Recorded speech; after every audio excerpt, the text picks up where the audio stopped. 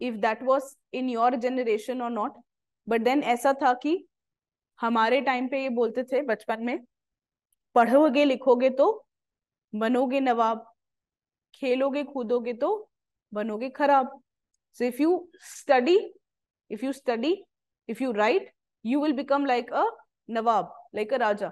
But in case you play you will become you will become bad so that was the idea then पढ़ोगे लिखोगे तो बनोगे नवाब, खेलोगे कूदोगे तो बनोगे खराब। But then now things have changed parents put an extra emphasis on extra curricular activities on sports on play ठीक है? So you're we seen no P V Sindhu four years of age but then channelize channelized by the parents to actually start playing and looking at the sports like that the sports have picked up dynamic personality team और orientation leadership ठीक है? Accommodation of the accommodation of unity in diversity confidence आता है।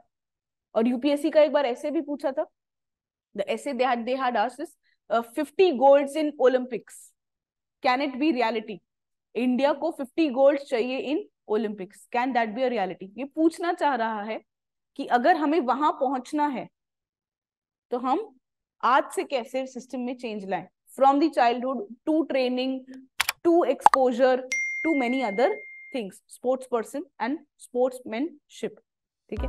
So this was about the role of the